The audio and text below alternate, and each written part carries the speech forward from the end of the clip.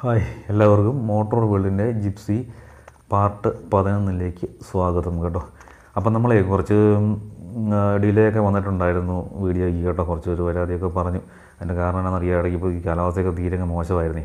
അപ്പം മറ്റു ചില വേറെ ഇച്ചിരി പ്രശ്നങ്ങളൊക്കെ ഉണ്ടായി. അപ്പോൾ അതുകൊണ്ട് നമുക്ക് പെട്ടെന്ന് ഈ ഇടയ്ക്കൊന്നും ഇച്ചിരി വർക്കിൽ ഡിലേ ഒക്കെ വന്നു പോയി. അതുകൊണ്ടാണ് നമ്മൾ ഇച്ചിരി താമസമൊക്കെ വന്നത് കേട്ടോ. ക്ഷമിക്കുക. അപ്പം ഇനി പരമാവധി വേഗത്തിലാക്കാൻ നോക്കാം. അപ്പം അന്ന് നമ്മൾ സ്റ്റാർട്ടറെല്ലാം ക്ലീൻ ചെയ്തതെല്ലാം കറക്കി എല്ലാം വെച്ചിരിക്കുമായിരുന്നല്ലോ ഇനിയിപ്പോൾ നമ്മളത് പോയി എഞ്ചിനിലേക്ക് പിടിപ്പിച്ച് എഞ്ചിനെ ഒന്ന് കറക്കണം. അപ്പം അത് പിടിപ്പിക്കുന്ന ഭാഗമാണ് ഈ കണ്ടുകൊണ്ടിരിക്കുന്നത്. അപ്പം ഒരു സാധാരണ എല്ലാ വണ്ടിക്കും മൂന്ന് ബോൾട്ട് കാണും. ഇതിന് രണ്ടെണ്ണേ ഉള്ളൂ. പന്ത്രണ്ട് രണ്ട് ബോൾട്ടിലത് ഉറപ്പിച്ച് നിർത്തണേ അപ്പോൾ അത് പ്ലേ അങ്ങോട്ട് വെച്ചിട്ട് മുറുക്കുന്ന ആ ഭാഗമാണ് കാണുന്നത്. അതിന്റെ ഹൗസിങ്ങിലേക്ക് വെച്ച് മുറുക്കുന്ന ആ ഭാഗമാണ് ഇപ്പോൾ നമ്മൾ കണ്ടത്. അപ്പോൾ അത് വെച്ച് മുറുക്കിയിട്ടുണ്ടേ. വെച്ച് മുറുക്കിയുമ്പോൾ ഇങ്ങനെ ഇരിക്കും. അപ്പോൾ ഇനിയിപ്പോൾ നമുക്കതിന്റെ അപ്പോൾ ഇനി ബാക്കി നമ്മൾ കറക്കാനും സ്റ്റാർട്ട് ഉള്ള ഒരു പരിപാടിയിലേക്കാണ് പോകുന്നത്. അപ്പോൾ ഇനി നമ്മൾ ക്യാമ്പ് സെൻസർ വെക്കുന്ന ഹൗസിങ്ങാണ് കാണുന്നത്. അതിന്റെ ഒരു ഫ്ലാഞ്ച് പോലെ ആയിട്ട് വരും. അപ്പോൾ അവിടെ ഒരു കണ്ടോ അവിടെ ഒരു റിങ് ഒരു ഓയിൽ റിങ് അതായത് ഓയിൽ വെളിയിൽ തള്ളി പോകാതിരിക്കാൻ ഇരിക്കാൻ വേണ്ടിയിട്ടുള്ള റബ്ബർ കൊണ്ടുള്ള ഒരു റിങ്ങാണത് ആ റിങ് കൃത്യമായിട്ട് നമ്മൾ അവിടെ വെക്കണം. മാത്രമല്ല എടുത്ത് എടുത്ത് കഴിയുമ്പോൾ നന്നായിട്ട് അവിടെ വൃത്തിയാക്കി ഇട്ട് വേണം അത് വെക്കാൻ വേണ്ടിയിട്ട്. ഇല്ലെങ്കിൽ മിക്കവാറും ഉള്ള വണ്ടികളിൽ കാണാം ആ ഭാഗത്തൂടെ ഓയിൽ തള്ളി വെളിയിലോട്ട് പോകുന്നതായിട്ട് കാണാൻ പറ്റുന്നുണ്ട്. അപ്പോൾ അത് ഈ ഇറിഞ്ഞ് നേരെ മുറുക അങ്ങനെ പോകാറൊന്നുമില്ലത് പക്ഷേ അത് നേരെ അവിടെ വൃത്തിയാക്കാതെ വെച്ച് മുറുക്കുന്നതുകൊണ്ടും അല്ലെങ്കിൽ അവിടെ മറ്റു റെസ്റ്റൊക്കെ പിടിച്ചിട്ടും അത് തള്ളിപ്പോൾ അങ്ങോട്ട് കൊണ്ട് നേരെ പൊസിഷൻ ചെയ്യാതൊക്കെ വെച്ചിട്ടൊക്കെയാണ് അതിങ്ങനെ അത് ഓയിലൊക്കെ അതിലൂടെ അങ്ങനെ തള്ളിപ്പോകുന്നത്. അപ്പോൾ അത് പോകാൻ മാത്രമല്ല അങ്ങോട്ട് അവിടെ അങ്ങനെ ഓയിൽ വന്നാൽ അത്ര ശരിയാകത്തുമില്ല അവിടെ ക്യാമിന്റെ സെൻസറൊക്കെ വരുന്നല്ലേ? അപ്പം വൃത്തിയായിട്ടിരിക്കേണ്ട സ്ഥലവും കൂടിയാണ്. അപ്പം നമ്മൾ എടുത്തായിരുന്നു. അല്ല അഴിച്ചിട്ട് അതെല്ലാം വൃത്തിയാക്കി പുതിയ സീറ്റ് വെച്ച് കയറ്റി അടയ്ക്കുന്ന ഭാഗമാണ് കാണുന്നത് ഒരു രണ്ട് മൂന്ന് ബോൾട്ട് ഉണ്ട് ആ ബോൾട്ട് വെച്ചിട്ടാണ് അത് പത്തിന്റെയാണ് അത് അവിടെ ആ മൂന്ന് ബോൾട്ട് ആ മൂന്ന് ബോൾട്ടിനെ പ്ലാൻ ഉറപ്പിക്കുന്നത് അതങ്ങോട്ട് ഉറപ്പിച്ച് വെച്ച് ആ റിങ്ങും ആ റിങ്ങും വെച്ച് ഉറപ്പിച്ച് ചെയ്യുമ്പോൾ അത് അത്രയേ ഉള്ളത് മുറിക്കാൻ മാത്രം മതി. അപ്പോൾ ഇത് നമ്മൾ കാണുന്നത് ഓയിൽ ഫിൽട്ടർ കേട്ടോ. ഇനി അടുത്ത ഓയിലൊക്കെ ഒഴിക്കാൻ ഫിൽറ്റർ ഉപയോഗി ചെയ്യേണ്ടത് അപ്പോൾ ഓയിൽ ഫിൽട്ടർ ഒന്ന് പൊടിച്ച് കാണിക്കാം. പഴയ ഒരു ഓയിൽ ഫിൽറ്റർ തുറന്ന് കാണിക്കാൻ തരാന്നുള്ളത്. അപ്പോൾ അതൊരു കേട്ടോ അതിനകത്ത് അതാണ് ഫിൽറ്റർ എലമെന്റ് ആയിരിക്കുന്നത്. അതായത് ഓയിലായിരിക്കാനുള്ള ഒരു പേപ്പർ കൊണ്ടുള്ള എലമെന്റാണ് നമ്മൾ ഇതിനകത്ത് ഓയിൽ വലിച്ച് ഇതിനകത്തൂടെ അരിച്ച് അതിനകത്തൊക്കെ പരമാവധി കരിയും മറ്റ് ചെറിയ തരികളൊക്കെ ഉള്ളത് കളഞ്ഞിട്ട് അരിച്ചെടുക്കാൻ വേണ്ടിയിട്ടുള്ള ഓയിൽ ഫിൽറ്ററാണത് ഇതാണ് അതിന്റെ മുഖത്തെ ഭാഗമായി കാണുന്നത് ആ ഫിൽറ്റർ എലമെന്റാണ് കാണുന്നത് അതുകൊണ്ട് അവിടെ ഒരു റബ്ബറിന്റെ സീലുണ്ടാവും രണ്ട് ചേമ്പറായിട്ട് ഇരിക്കാൻ വേണ്ടിയിട്ടുള്ളത് അതാണ് എലമെന്റ് ആ പേപ്പറാണ് പേപ്പറിനകത്തുകൊണ്ടാണ് അരിച്ച് ഇത് വെളിയിലേക്ക് വരുന്നത് അപ്പോൾ അതിനകത്ത് ചെറിയ ഒന്ന് രണ്ട് സംഗതികൾ നമുക്ക് മനസ്സിലാക്കി ഇരിക്കുന്നത് നല്ലതാണ് അപ്പോൾ ഇതാണ് എലമെന്റ് ആ എലമെന്റിന്റെ ബാഗിലൊരു സംഭവം ഉണ്ടോ കാണിച്ചു തരാം. രണ്ട് സൈഡും തകട് ആയിരിക്കും. അപ്പോൾ അതിന്റെ നടുക്കൊരു വാൽവ് ഉണ്ടാകും കേട്ടോ ഒരു ചെക്ക് വാൽവ് ഉണ്ടാകും കേട്ടോ. അപ്പോൾ പ്രസ് ചെയ്യുമ്പോൾ താഴ്ന്ന് കാണാം കേട്ടോ തുറന്നകത്തോട്ട് പോകുന്നേ. അത് ചെക്ക് വാൽവാണ് ഒരു വാൽവാണ് ചെക്ക് വാൽവല്ല ഒരു വാൽവാണ്. അപ്പോൾ എന്തിനാണെന്ന് വെച്ചാൽ ഇത് ഇൻ കേസ് ഇപ്പം നമ്മുടെ ഈ ഫിൽട്ടർ അങ്ങ് അടഞ്ഞു പോയെന്ന് വെച്ചു മൊത്തമായിട്ട്. അപ്പോൾ ഓയിൽ സർക്കുലേഷൻ നിന്ന് പോകും അപ്പോൾ അങ്ങനെ നിന്ന് പോകാണ്ടിരിക്കാൻ വേണ്ടിയിട്ട് അങ്ങനെ അടയുന്ന ഒരു അവസ്ഥയിൽ ആ വാൽവ് തള്ളി തുറന്ന് ഫിൽട്ടർ ചെയ്യാതെ ഈ ഓയിൽ എഞ്ചിനകത്തോട്ട് പമ്പ് ചെയ്തുകൊണ്ടിരിക്കും അതായത് അടഞ്ഞു പോകുന്ന സാഹചര്യത്തിൽ അപ്പോൾ പൂർണമായിട്ട് ഒരിക്കലും അടയാൻ പാടില്ല. അടഞ്ഞ് നമുക്ക് എഞ്ചിൻ ഓടിക്കാൻ പറ്റത്തില്ല. ഓയിൽ സർക്കുലേഷൻ ഇല്ലാതെ നമുക്ക് ഒരു മിനിറ്റ് പോലും എഞ്ചിന് സ്റ്റാർട്ട് ചെയ്ത് പോലും നിർത്താൻ പറ്റത്തില്ല. വെള്ളം വലിയ അഞ്ച് മിനിറ്റെങ്കിലും ഓടും. പക്ഷേ ഓയിൽ ഇല്ലാതെ അഞ്ച് മിനിറ്റ് പോലും അഞ്ച് പോയിട്ട് ഒരു മിനിറ്റ് പോലും നമുക്ക് ഓടിക്കാൻ പറ്റത്തില്ല. അപ്പോൾ ഓയിലിന്റെ ആ പാസയാണ് കണ്ടുകൊണ്ടിരിക്കുന്നത്. അതായത് ഫിൽറ്റർ വെക്കുന്ന ഭാഗത്തേക്കുള്ള എഞ്ചിൻ ബ്ലോക്കൊക്കെ ഉള്ള അകത്തൂടെ മോൾഡ് ചെയ്ത് വിട്ടിരിക്കുന്ന അതിനൊരു ഉണ്ട്. അതാണ് ഓയിൽ പ്രഷർ സ്വിച്ച് അതായത് നമ്മളവിടെ ഒരു ലൈറ്റ് മണി ലമ്പ് കാണിക്കുക. അതിന്റെ സ്വിച്ചാണ് അത് ഓയിൽ പ്രഷർ സ്വിച്ച് എന്നതിന് പറയുക. ആ സ്വിച്ചാണ് അവിടെ വെച്ചിരിക്കുന്നത്. അത് എഞ്ചിന്റെ ഓയിൽ ഗാലറികളാണ് കാണുന്നത്. അപ്പോൾ ഇവിടെയാണ് ആ ഭാഗത്തോട്ടേക്കാണ് ഓയിലൊക്കെ വരികയും ഒക്കെ ചെയ്യുന്നത്. അവിടെയാണ് നമ്മൾ ഫിൽറ്റർ വെച്ച് മുറുക്കുന്നത്. കണ്ടോ? ഇതാണ് ഫിൽറ്റർ അപ്പോൾ അങ്ങോട്ട് വെച്ച് മുറുക്കി കഴിയുമ്പോഴത്തേക്ക് ഓയിൽ പമ്പ് മുൻഭാഗത്താണ് ഓയിൽ പമ്പ് ഇരിക്കുന്ന ആ പമ്പ് ഇവിടുന്ന് അടിച്ചു കൊടുക്കും ഇതിനകത്തോട്ട്. എന്നിട്ട് ഇതിനകത്ത് കയറി ഫിൽറ്റർ ചെയ്തിട്ട് എഞ്ചിന്റെ മെയിൻ ഓയിൽ ഗാലറി എന്ന് പറയും. അതിനകത്തോട്ടൊരു തുളയുണ്ടാവും നീളത്തിൽ ആ തുളയ്ക്കകത്തോട്ട് ചെല്ലുക ചെയ്യുന്നത് ഈ ഓയിൽ അവിടെ നിന്നാണ് എല്ലാ ഓരോ ഭാഗത്തോട്ട് ഈ ഓയിൽ സ്പ്രെഡാകുന്നത് അതായത് കറാങ്ങിന്റെ ജേണൽ പിന്നെ പിന്നെ അവിടെ നിന്ന് മുകളിലേക്ക് കയറിയിട്ട് കെട്ടിനകത്തോട്ട് മണ്ടേ വന്നിട്ട് മറ്റേ ക്യാം ഷാഫ്റ്റിന്റെ ഭാഗത്തൊക്കെ ഡ്യൂപ്ലിക്കേഷൻ കിട്ടാൻ വേണ്ടിയിട്ട് അങ്ങോട്ടാണ് അതിന്റെ ഒഴുകിയോടെ ആ ഭാഗത്ത് ചെല്ലും ഇവിടെ നിന്നെല്ലാം ഫിൽറ്റർ ചെയ്തിട്ടാണ് ഈ ഭാഗത്തോട്ടെല്ലാം ഇത് പോകുന്നത്. അപ്പോൾ അതിന്റെ ആ ഓയിലിന്റെ ആ ഭാഗങ്ങളൊക്കെയാണ് നമ്മൾ ഈ കണ്ടുകൊണ്ടിരിക്കുന്നത് ഫിൽറ്ററൊക്കെ വെച്ചു. പുതിയ ഫിൽറ്ററാണ് അപ്പോൾ ഫിൽറ്റർ കൈ കൊണ്ടുള്ള ഹാൻഡ് ടൈറ്റ് തന്നെയാണ് കേട്ടോ. പിന്നെ ഇതാണ് ഓയിലിന്റെ ഗ്രേഡിങ്ങിനെ സംബന്ധിച്ച്. അതിനുള്ള S E twenty W forty എന്ന് രേഖപ്പെടുത്തിയെന്ന് കാണാം. ഒരു സൈഡിൽ എ പി ഐ സർട്ടിഫിക്കറ്റ് അത് കാണാം. എ പി എന്ന് വെച്ചാൽ അമേരിക്കൻ പെട്രോളിയം ഇൻസ്റ്റിറ്റ്യൂട്ട് എന്നാണ് അവർ കൊടുക്കുന്ന സർട്ടിഫിക്കേഷനാണ് അപ്പം പിന്നെ ട്വന്റി ഡബ്ല്യു ഫോർട്ടി എന്ന് പറയുന്നത് ട്വന്റി വിന്റർ ഫോർട്ടീൻ അതായത് തണുപ്പ് കാലത്ത് ട്വന്റി ആയിരിക്കും അതിന്റെ വിസ്കോസിറ്റി അല്ലെങ്കിൽ കൊഴുപ്പ്. അതായത് നല്ല വിസ്കോസിറ്റി കാണും. നൂറ് ഡിഗ്രി ആകുമ്പോൾ ഫോർട്ടി ആയിരിക്കും. അതായത് വിസ്കോസിറ്റി കുറയും നാൽപ്പതായിരിക്കും. അതായത് അതായത് ഈ പറഞ്ഞ എസ് ഐ എന്നും കൂടെ രേഖപ്പെടുത്തിക്കുന്നത് കാണാം. എസ് ഐ എന്ന് പറയുന്നത് സൊസൈറ്റി ഓഫ് ഓട്ടോമൊബൈൽ എഞ്ചിനീയേഴ്സ് എന്നുള്ളതാണ്. അവർ ഈ ഓയിൽ പരിശോധിച്ച് കൊടുത്തിരിക്കുന്ന ഗ്രേഡാണത് അതാണ് ഈ ഫിഫ്റ്റീൻ ഡബ്ല്യു ഫോർട്ടീന്നും ട്വന്റി ഡബ്ല്യു ഫോർട്ടീന്നൊക്കെ ഇതിൽ എഴുതിക്കുന്നത് അപ്പോൾ ഓയിൽ ഒഴിക്കൊണ്ടിരിക്കുന്ന ഭാഗം നമ്മൾ കണ്ടുകൊണ്ടിരിക്കുന്നത്. അപ്പോൾ പുത്തൻ ഓയിൽ നമ്മൾ ഒഴിച്ചു കൊടുക്കുകയാണ്. അപ്പോൾ അതാണ് ഓയിലിന്റെ സംബന്ധിച്ച് ഓയിലിന്റെ ഡീറ്റെയിൽസ് പറയുമ്പോൾ പ്രധാനമായിട്ടും നമ്മൾ അറിഞ്ഞിരിക്കേണ്ട ഒരു കാര്യമാണ്. ഗ്രേഡിങ് എന്ത് എന്താണ് അതിന്റെ ഈ ട്വന്റി ഡബ്ല്യു ഫോർട്ടി എന്നൊക്കെ പറഞ്ഞാൽ നമുക്ക് അറിയത്തില്ല എന്താ സംഭവം എന്നുള്ളത്. അതാ ട്വന്റി ഡബ്ല്യു ഫോർട്ടി എന്ന് പറഞ്ഞാൽ ഇതാണ്.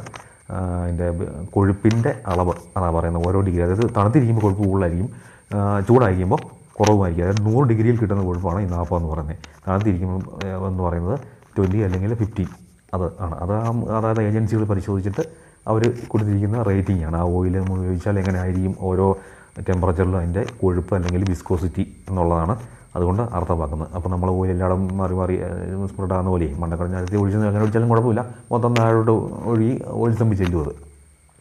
അപ്പോൾ നമ്മൾ അടപ്പ് എടുത്ത് വെക്കാനുള്ള സൗകര്യം ഉണ്ടായിരുന്നതുകൊണ്ട് നമ്മൾ അടപ്പ് എടുത്ത് വെച്ചിട്ട് ഒഴിച്ച് കൊടുക്കുക. അല്ലെങ്കിൽ ആ മണ്ടയിൽ അറിയാമല്ലോ ഓയിൽ ഒഴിക്കേണ്ട ഒരടപ്പ് ആ അടപ്പ് ഇങ്ങ് തുറന്ന് വെച്ചിട്ട് അതിനകത്തോട്ട് കൊണ്ട് ഓയിൽ ഒഴിച്ച് കൊടുത്താൽ മാത്രം മതി. ഇതുപോലെ തന്നെ അങ്ങ് പോകും അടിയിൽ ചെന്ന് കിടന്നോളൂ. ഓയിൽ ഊറ്റിയ ശേഷം. എല്ലാം അടച്ച് ഓയിൽ പിന്നെ ട്രെയിനിട്ടൊക്കെ മുറുകിയ ശേഷം ഇങ്ങനെ ഒഴിച്ച് കൊടുത്താൽ ക്യാപ്പ് അടച്ച് ഒഴിക്കുന്നതും നമ്മൾ ഈ ഒഴിക്കുന്നത് സെയിം തന്നെയാണ്. മാറ്റമൊന്നുമില്ല. ഇങ്ങനെ ചെയ്യണം ചെയ്യണമെന്നൊന്നും അല്ല പറയുന്നത് ഇത് നമ്മൾ തുറന്നിരുന്നതുകൊണ്ട് ഇങ്ങനെ അങ്ങ് ഒഴിച്ചു എന്നുള്ളതേ ഉള്ളൂ കേട്ടോ. അപ്പോൾ ഓയിൽ ഒഴിക്കുക. ഓയിൽ ഒഴിച്ച് എല്ലാം ഒഴിച്ചു. ഫിൽറ്ററും എല്ലാം വെച്ചു.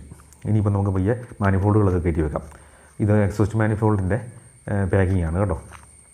അത് നമുക്ക് കണ്ടോ മെറ്റലാണ് കാരണം എന്ന് വെച്ചാൽ അവിടെ നന്നായിട്ട് ഹീറ്റ് ആവുമല്ലോ. അപ്പോൾ ആ ഹീറ്റിനെ പിടിച്ച് നിർത്താൻ നിൽക്കുന്ന തരത്തിലുള്ള ഇത് വേണമല്ലോ പാക്കിങ് അതുകൊണ്ടാണ് അത് മെറ്റൽ പാക്കിങ് അപ്പോൾ അത് നമുക്ക് വെക്കാം. അപ്പോൾ അതാണ് എക്സോസ്റ്റ് മാനിഫോൾഡിന്റെ പാക്കിങ് അത് മെറ്റലായിരിക്കും അതിന്റെ കാര്യം ടെമ്പറേച്ചർ കൂടുതൽ വരുന്നതുകൊണ്ടാണ്. അപ്പോൾ പാക്കിങ് അവിടെ വേണമെന്നാ. ഇല്ലെങ്കിൽ ഹെഡും ഇതും കൂടെ സീറ്റ് ആവത്തില്ല. അതിലൂടെ ലീക്കും ഒച്ചയൊക്കെ അനാവശ്യം ഒച്ചയൊക്കെ വെളിയിലേക്ക് വരികയൊക്കെ ചെയ്യും. അപ്പോൾ ഇതാണ് എക്സോസ്റ്റ് മാനിഫോൾഡ് അപ്പം അത് കയറ്റി വെച്ച് മുറുക്കാം ആ മുറുക്കുന്ന ഭാഗമാണ് കണ്ടുകൊണ്ടിരിക്കുന്നത്. അപ്പം എല്ലാവരും ഓർക്കുക അപ്പോൾ ഈ തുരുമ്പല്ലേ എന്ന് നോക്കി. പക്ഷേ എക്സോസ്റ്റ് മാനിഫോൾഡ് എപ്പോഴും ഗ്യാസ് ടാങ്ക് കൊണ്ടായിരിക്കും മൈക്ക് അത് അത് വെച്ചാലേ ഇരിക്കത്തുള്ളൂ. വേറെ അലുമിനിയം ഒന്നും വെച്ചാൽ ഒന്നും ഇരിക്കത്തില്ല. അടന്നില്ല ഒടിഞ്ഞു എല്ലാം പോകും അപ്പോൾ അത് ഇച്ചിരി തുരുമ്പ് സ്വാഭാവികമായിട്ടുള്ളതാണ് കേട്ടോ. അത് കാണും. ഇച്ചിരി തുരുമ്പൊക്കെ ഉണ്ടാവുക അത് വിഷയമുള്ള കാര്യമല്ല. അതങ്ങനെ ഹീറ്റ് ആകുന്നുണ്ട്? ഓവർത്തണ്ടമായിട്ട് ഹീറ്റ് ആകുന്നുണ്ട്. ഗ്യാസ് ടാങ്ക് കൊണ്ടാണ് മുകളിൽ ചെയ്തേക്കുന്നത്. അപ്പോൾ അതുകൊണ്ട് ആ തുരുമ്പ് ഇതൊക്കെ കാണും. അത് വലിയ പ്രശ്നമുള്ള കാര്യങ്ങളൊന്നുമല്ല. ചുമ്മാ കുറച്ച് വൃത്തിയാക്കിയാൽ മാത്രം ഷോയ്ക്ക് വേണ്ട ഇരിക്കത്തുന്നില്ല കുറച്ചും പിന്നെയും അതായത് തുരുമ്പ് തന്നെ വരികയും ചെയ്യും നമ്മളെന്ത് കാണിച്ച് പെയിന്റ് അടിച്ചായിരിക്കത്തില്ല ഓയിൽ തൂത്ത് വെച്ചായിരിക്കത്തില്ല എല്ലാം പോവും. ഓയിലൊക്കെ തൂത്ത് വെച്ച് കഴിഞ്ഞാൽ അത് പുകഞ്ഞ് വരും പെയിന്റും കത്തി പോകത്തേ ഉള്ളൂ. അതുകൊണ്ട് അത് ഇച്ചിരി തുരുമ്പൊക്കെ അവിടെ ഇരിക്കുക അത് വിഷയമുള്ള കാര്യമില്ല. അപ്പോൾ ചുമ്മാ തുടച്ചതേ ഉള്ളൂ കേട്ടോ. ഡീസൽ മുഖേന തുടച്ച ഒന്ന് പിക്ചറിൽ വരുമ്പോഴേ ഒരു ഷോയ്ക്ക് വേണ്ടി ചുമ്മാ തുടച്ചത് ഇതൊന്നും ഇരിക്കത്തില്ല എല്ലാം പുകഞ്ഞ് പോകത്തേ ഉള്ളൂ. ആ, ചു- ചൂടാക്കിക്കുമ്പോഴത്തേക്കും അത് അങ്ങോട്ട് പുകഞ്ഞ് പോകത്തേ ഉള്ളൂ. അപ്പോൾ അതെല്ലാം വൃത്തിയാക്കിയിട്ടുണ്ട്. അത് വെച്ച് മുറുക്കി.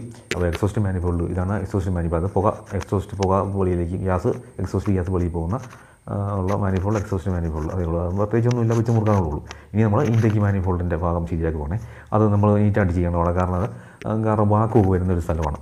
അപ്പോൾ അവിടെ ഒട്ടും റെസ്റ്റോ അല്ലെങ്കിൽ എന്തെങ്കിലും അങ്ങനെ പുള്ളിയും പണ്ടും ഒന്നും കാണാൻ പാടില്ല. അപ്പോൾ അതെല്ലാം നല്ല അവിടുത്തെ പാക്കിംഗ് എല്ലാം ഉറച്ച് കളഞ്ഞിട്ട് പഴയ പാക്കിംഗ് എല്ലാം ഉറച്ച് കളഞ്ഞ് പൂത്ത നമ്മൾ വെക്കണം. അപ്പോൾ അതിനുവേണ്ടി അവിടെ എല്ലാം നന്നായിട്ട് വൃത്തിയാക്കണം. അല്ലെങ്കിൽ അവിടെ അങ്ങനെ വാക്കും വലിച്ചു കഴിഞ്ഞാൽ അത് പല പ്രശ്നങ്ങളുണ്ടാകും. എഞ്ചിന്റെ ആർ പി എം മാറുകയും പല ഒരുപാട് പ്രശ്നങ്ങളുണ്ട്. അല്ലെ പൊടി വലിച്ചകത്ത് കയറ്റിയും പല പിന്നെ അത് മുന്നോട്ട് എഞ്ചിൻ ചുമ നേരെ ഓടത്തില്ല. അവിടെ വാക്കുലിക്കൊക്കെ ഉണ്ടായി കഴിഞ്ഞാൽ അപ്പോൾ അതിന് വേണ്ടിയിട്ടാണ് നന്നായിട്ട് അവിടെ നമ്മൾ ഇത് വൃത്തിയാക്കുക. പിന്നെ അതിലൂടെ വെള്ളം കടന്നു പോകുന്ന ഭാഗമൊക്കെ ഉണ്ട്. അവിടെയൊക്കെ നല്ലോണം ചേർന്ന് ഇതിലെ വെള്ളം ലീക്കും ഒക്കെ വരും. അപ്പോൾ അതുകൊണ്ട് അതിന്റെ നമ്മൾ ഇതാണ് അതിന്റെ ഇൻടേക്ക് മാനിഫോൾഡ് അപ്പോൾ അതും നന്നായിട്ട് വൃത്തിയാക്കണം. നല്ല നല്ലോണം വൃത്തിയാക്കണം.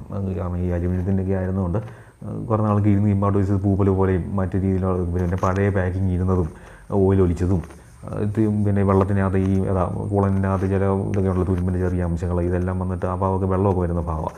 അപ്പം അതിന്റെയൊക്കെ ഇതൊക്കെ കാണും. അതെല്ലാം നന്നായിട്ട് കണ്ടാൽ നല്ല മിനുക്കി. ഇങ്ങനെ ആക്കണം. ഇങ്ങനെ ആക്കിയിട്ട് വെച്ചില്ലെങ്കിൽ അതിലൂടെ ലീക്ക് ഉണ്ടാകും. സ്വാഭാവികമായിട്ട് അവിടെ ലീക്ക് വരും. ലീക്ക് വന്നു കഴിഞ്ഞാൽ എഞ്ചിൻ ചുവ നേരെ വർക്ക് ചെയ്യാത്തൊരു സാഹചര്യം വരും കേട്ടോ. അപ്പോൾ അതിന്റെ പാക്കിംഗ് ആണത്. ഇൻഡെങ്കിൽ മാനിഫോൾഡിന്റെ പാക്കിങ് ഈ പ്രാവശ്യം നമുക്ക് കിട്ടിയത് മെറ്റലിന്റെയാണ്. ചിലപ്പം ഒക്കെ അലയുടെ ആകുമ്പോൾ കുറച്ചുകൂടെ പെട്ടെന്ന് സീറ്റാണ് പക്ഷേ ഇതാകുമ്പോൾ കുറച്ചുകൂടെ ലാസ്റ്റ് ചെയ്യും. അങ്ങനെ പെട്ടെന്ന് അത് പോകത്തില്ല.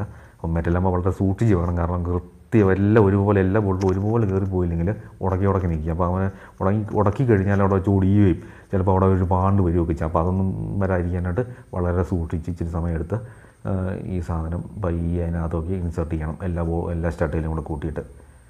ഉടക്കി നിൽക്കുന്നുണ്ടോ ഒരേപോലെ കയറി പോകാനായിട്ട്. എല്ലാ സൈഡും ഒരേപോലെ കയറി പോയാൽ മാത്രമേ ഫ്രീ ആയിട്ട് അതിനകത്തോട്ട് കയറി പോകുള്ളൂ കുറച്ച് കുറച്ച് രണ്ട് സൈഡും കയറി കഴിയുമ്പം അത് പൊക്കോളും. കറക്റ്റ് അളവാണ് അത് കയറി അങ്ങ് പൊക്കോളും അത്. പിന്നെ വെക്കുമ്പോൾ അതിന്റെ സൈഡൊക്കെ നോക്കണം കേട്ടോ. കാരണം തല അങ്ങോട്ടും ഇങ്ങോട്ടും മാറിപ്പോയില്ല അങ്ങനെ ഇട്ട് കഴിഞ്ഞാൽ ഹോളുകളൊന്നും ചുവ നേരെയൊന്നും വരാണ്ടതൊക്കെ വരും. അപ്പോൾ ചതവും പുളവും ഒടിവും ഒന്നും ഇല്ലാതെ പയ്യെ കണ്ടോ കയറി. കുഴപ്പമില്ല. അങ്ങനെ അങ്ങോട്ട് വെച്ച് കഴിഞ്ഞാൽ അത് കയറി ഇരുന്നോളും. നല്ലോണം സീറ്റ് ആവേണ്ടതാണ്. കാരണം ബാക്കുത്തിന്റെ വിഷയം വരുന്നതുകൊണ്ട് നല്ലോണം അവിടെ സീറ്റ് ആവേണ്ടതാണ്. ഒട്ടും അവിടെ ഇരിക്കും വരാൻ പാടില്ല വന്നു കഴിഞ്ഞാൽ ഭയങ്കര എഞ്ചിന്റെ ഇത് ആർ പി എമ്മിലൊക്കെ വേരിയേഷനൊക്കെ വരും. അതുപോലെ വിറയിലുണ്ടാവും അപ്പോൾ അങ്ങനെയൊക്കെ ഉള്ള പ്രശ്നങ്ങളുണ്ടാകും. അതുപോലെ ചിലപ്പം ഇത് ഫ്യൂവലിന്റെ ലീക്ക് കാണിക്കും അവിടെ. അതായത് ഈ സ്പ്രേ വരുന്നൊക്കെ ചിലപ്പോൾ അതിലോട്ടൊക്കെ താഴോട്ട് വരുമൊക്കെ ചെയ്യും.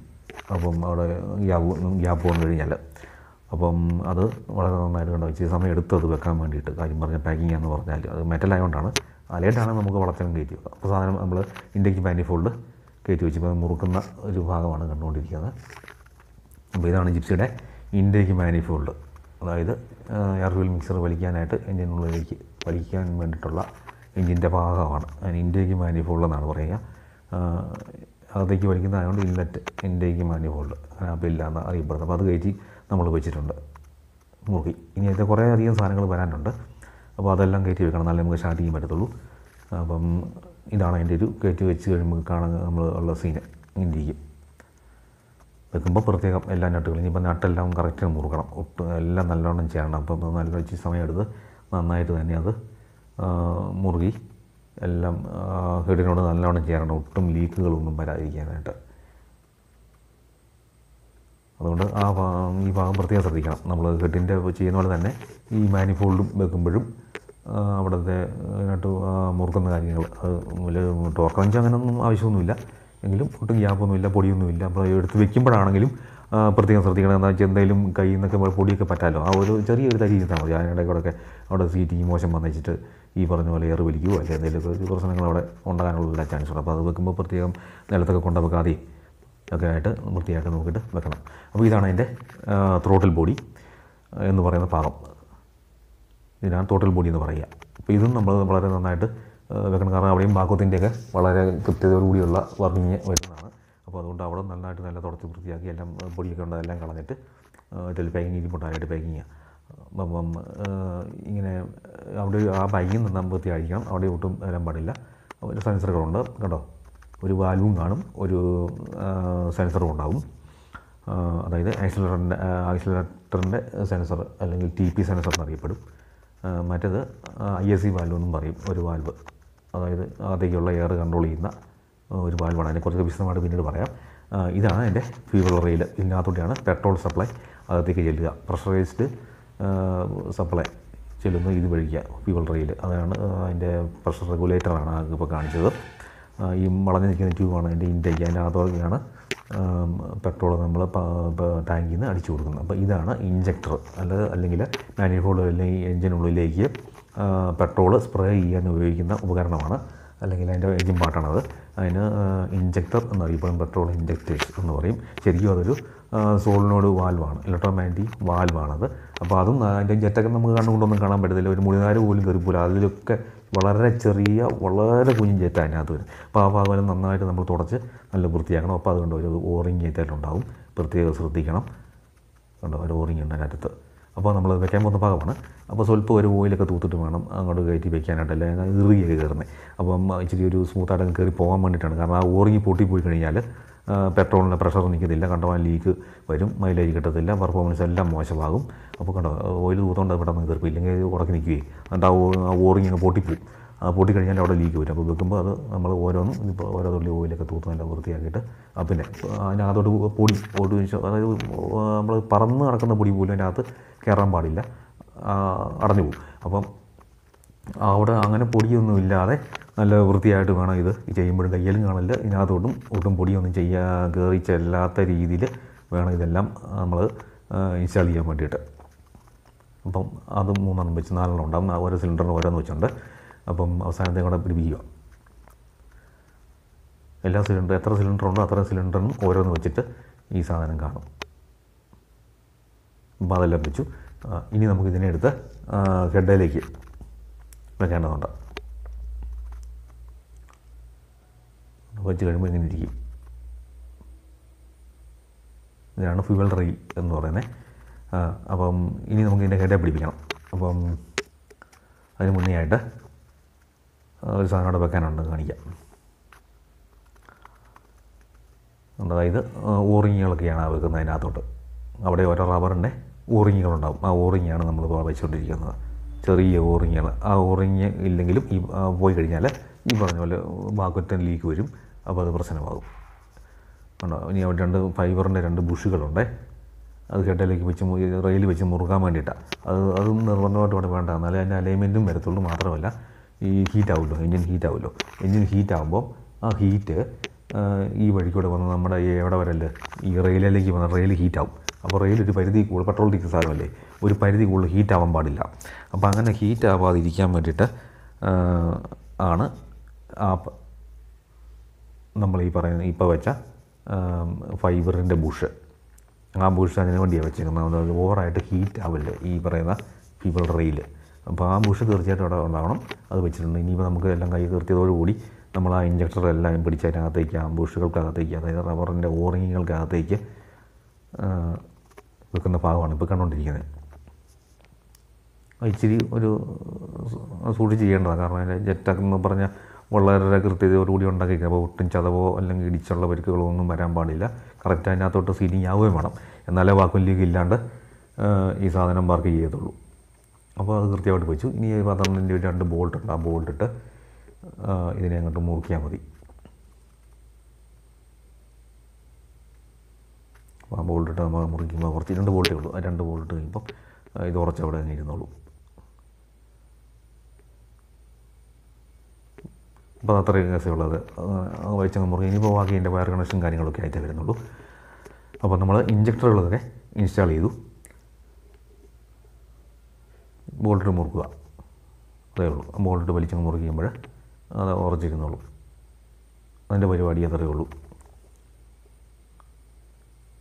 രണ്ട് ബോൾട്ട് അങ്ങ് അപ്പുറം ഇപ്പുറം രണ്ട് പന്ത്രണ്ടിന് രണ്ട് ബോൾട്ട് ആ ബോൾട്ടിൽ തന്നെ നിന്നോളൂ. ഈ പ്രഷർ ചീറ്റി പോവുക അങ്ങനെ ഒന്നും. പക്ഷേ നമ്മൾ ആ ഇഞ്ചക്ടറെ പിടിച്ച് അങ്ങോട്ടും ഇങ്ങോട്ടും കറക്കൊക്കെ ആണെങ്കിൽ ഇത് കറങ്ങുകയൊക്കെ ചെയ്യും. കുഴപ്പമൊന്നുമില്ല. പക്ഷെ എന്ന് പറഞ്ഞാൽ പെട്രോൾ ചീറ്റിയൊന്നും പോകത്തൊന്നുമില്ല. നമുക്ക് കല്ല് പോലെ ഉറച്ചിരിക്കേണ്ട ഒരു സാധനമൊന്നുമില്ല. സ്മൂത്തായിട്ട് തന്നെയാണ് ഇരിക്കുന്നത്. അങ്ങനെ തന്നെ ഇരിക്കുകയും വേണം അത്. എന്നാലേ ഈ പെട്രോൾ തള്ളിപ്പോകാണ്ട് അങ്ങനെ നിൽക്കത്തുള്ളൂ അതിന്റെ കറക്റ്റ് സംഭവം അതാണ്. ആ മുറുക്കുള്ളൂ അങ്ങോട്ടും ഇങ്ങോട്ടും നനങ്ങി നിന്ന് ഓർത്തുകൊണ്ട് വിഷയമൊന്നുമില്ല. പെട്രോളിന്റെ പ്രഷറും തള്ളിയൊന്നുമില്ല പോവൊന്നുമില്ല. അപ്പം റെയിൽ വെച്ച് മുറുകി ഇഞ്ചക്ടറും വെച്ച് റെയിലും കൂടെ കണക്ട് ചെയ്ത് മുറുകി അപ്പോൾ ഓരോ സിലിണ്ടറിന് ഓരോന്ന് വെച്ചിട്ട് നാലെണ്ണം നാല് ഇഞ്ചക്ടേഴ്സ് അപ്പോൾ അത് കഴിഞ്ഞു. അതിന്റെ താഴെയായിട്ട് കാണാം. ആ കുറ്റി പോലിരിക്കുന്ന അതാണ് ഫ്യൂൾ പ്രഷർ റെഗുലേറ്റർ എന്ന് പറയുന്ന സാധനം. അത് ഫ്യൂളിന്റെ പ്രഷർ റെഗുലേറ്റ് ചെയ്യുന്ന ഒരു സാധനമാണ്. കുറച്ച് സംഭവങ്ങളൊക്കെ ഉണ്ട്. അത് നമുക്ക് ഞാൻ അത് പിന്നീട് വേറെ അതിനെക്കുറിച്ച് പ്രതിപാദിക്കുന്ന അതായത് റെഗുലേറ്ററിനെ കുറിച്ച് പ്രതിപാദിക്കുന്ന സമയമാകുമ്പോൾ അത് പറയാം കേട്ടോ. ഇനിയിപ്പം നമ്മൾ ത്രോട്ടിൽ ബോഡി വെച്ച് മുറുക്കുകയാണേ. നാല് ബോൾട്ട് ഉണ്ടാവും ബോൾട്ട് ഇട്ട് അതിനെ അങ്ങ് മുറുക്കിയാൽ മാത്രം മതി. അതിൽ വേറെ ഒന്നുമില്ല. ഒരു ബാഗിങ് അതിന് അപ്പുറത്തൊരു ബാഗിങ് ഉണ്ട് അത് മുമ്പേ പറഞ്ഞ പോലെ തന്നെ അത് വൃത്തിയായിട്ട് പൊടിയൊന്നും ഇല്ലാണ്ട് അതായത് ബാക്കിലേക്ക് വരാത്ത രീതിയിൽ വലിച്ചു മുറുകി അങ്ങ് ഉറപ്പിക്കുക. നമ്മുടെ ആക്സിലേറ്ററിന്റെ പെടലിൽ നിന്ന് വരുന്ന കേബിൾ അത് ഇതിലാണ് വന്ന് നമ്മൾ ലോക്ക് ചെയ്യുന്നത്. അത് ചവിട്ടുമ്പോഴാണ് ഈ സെൻസർ വർക്ക് ചെയ്യുകയൊക്കെ ചെയ്യുന്നത്. അപ്പോൾ ആ സെൻസറിന്റെ ആ ഒരു ഇത് വരുമ്പം അതെങ്ങനെയാണ് വർക്ക് ചെയ്യുന്നത്. എന്താണ് അതിന്റെ ഫങ്ഷനിങ് ഉള്ളത് കൃത്യമായിട്ട് പറയാം. അപ്പം അതെല്ലാം കഴിഞ്ഞു. ഇനി നമ്മൾ ആദ്യം ഒന്ന് കറക്കി ഓയിലൊക്കെ ഒഴിച്ചല്ലോ ഇനി നമുക്ക് ഒന്ന് കറക്കി ഒന്ന് നോക്കണം. അതായത് ഓയിൽ പ്രഷർ ഉണ്ടോ എന്ന്. എന്നിട്ടൊക്കെ സ്റ്റാർട്ടിങ് പറ്റത്തുള്ളൂ. ആദ്യം നമ്മളൊന്ന് കറക്കി നോക്കി സ്റ്റാർട്ടർ ഉപയോഗിച്ച് കറക്കി നോക്കിയിട്ട് വേണം. പിന്നെ ഇത് ഒന്ന് പെട്രോളൊക്കെ കൊടുത്ത് ഇനി സ്റ്റാർട്ടിങ്ങിലേക്ക് പോകാൻ വേണ്ടിയിട്ട്. അപ്പോൾ അതിന് മുന്നേ ആയിട്ട് നമ്മൾ കറക്കി നോക്കാം. അപ്പോൾ ഓയിൽ പ്രഷർ ഉണ്ടോ എന്ന് അറിയണ്ടേ? ഓയിൽ കയറുന്നുണ്ടോ എന്നൊക്കെ. എല്ലാം അഴിച്ച് നോക്കിയല്ലേ അപ്പോൾ എല്ലായിടത്തും ഓയിൽ പ്രഷർ ഉണ്ടോ? ഓയിൽ പ്രഷർ സ്വിച്ചിലേക്കുള്ള കണക്ഷൻ കൊടുത്തു. അപ്പോൾ ലൈറ്റ് നമ്മുടെ ഡാഷ്ബോർഡിൽ കാണാൻ പറ്റും. ലൈറ്റ് ഇങ്ങനെ കത്തുകയും കെടുകയും ചെയ്യുന്ന സ്റ്റാർട്ടാകുമ്പോൾ താക്കോൽ ഓണായി ഇരിക്കുമ്പോൾ നിൽക്കുമ്പോൾ കറക്കി നോക്കുവാണേ. കണ്ടോ? അല്ല ഇതുപോലെ പോലെ ആദ്യം കണ്ടോ? പ്രഷർ പോയി. കണ്ടോ? ഓയിൽ പഠിച്ച് കണ്ടോ അപ്പോൾ ഇത് പ്രഷറുണ്ട് അതായത് ഓയിൽ പമ്പ് ചെയ്ത് കയറുന്നുണ്ടെന്നാണ് കറങ്ങുമ്പോൾ അത് കത്തി അതായത് പ്രഷറാകും കറക്കം നീക്കി പ്രഷർ താഴും. ഉടനെ ബൾബ് കത്തും. കണ്ടോ? അതാണ്. അപ്പോൾ ചെക്ക് ചെയ്തു കേട്ടോ. അപ്പം അത്രയേ ഉള്ളൂ. അത് ആ സംഗതി അത്രയേ ഉള്ളൂ. കണ്ടോ? പ്രഷർ നിന്ന് കത്തും കറങ്ങുമ്പോൾ കെടും. അപ്പോൾ പ്രഷർ ഉണ്ടെന്നുള്ളത് തന്നെ മനസ്സിലാകാം കുഴപ്പമില്ല. അപ്പോൾ ഇനിയിപ്പോൾ നമുക്ക് പെട്രോളൊക്കെ ഒഴിച്ച് എഞ്ചിൻ സ്റ്റാർട്ട് ചെയ്യാനായിട്ട് പറ്റും. ഒന്നുകൂടെ ഒന്ന് കറക്കി നോക്കാം.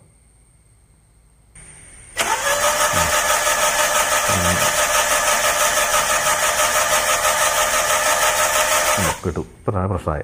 അപ്പോൾ പ്രഷറാകുമ്പോൾ അത് കെട്ടുപോവും. നിൽക്കുമ്പോൾ കത്തും. എഞ്ചിൻ കറങ്ങുമ്പോൾ കണ്ടോ കെട്ടി ഇനി കറക്കുമ്പോൾ അത് കെട്ടുപോകും. അപ്പോൾ ഇതാണ് എന്റെ ഇന്നത്തെ വീഡിയോ ജാമൊക്കെ വർക്ക് ചെയ്യുന്നത് കേട്ടോ.